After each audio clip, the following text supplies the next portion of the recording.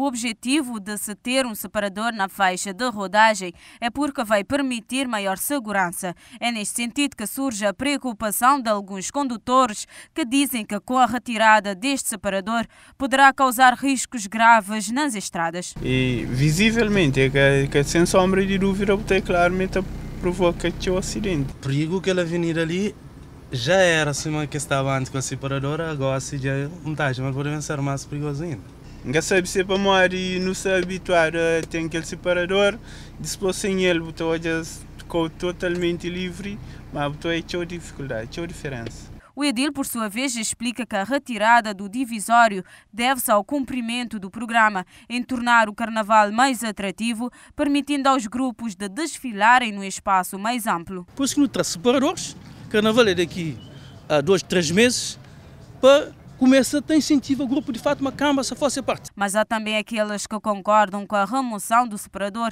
e dizem que não vai causar nenhum perigo. Acho que atacada não perigo, e quer dizer que é nós que condutor que tem que ter mais precaução. No entanto, o presidente da Câmara diz que vai ser colocado uma outra forma de proteção que é movível.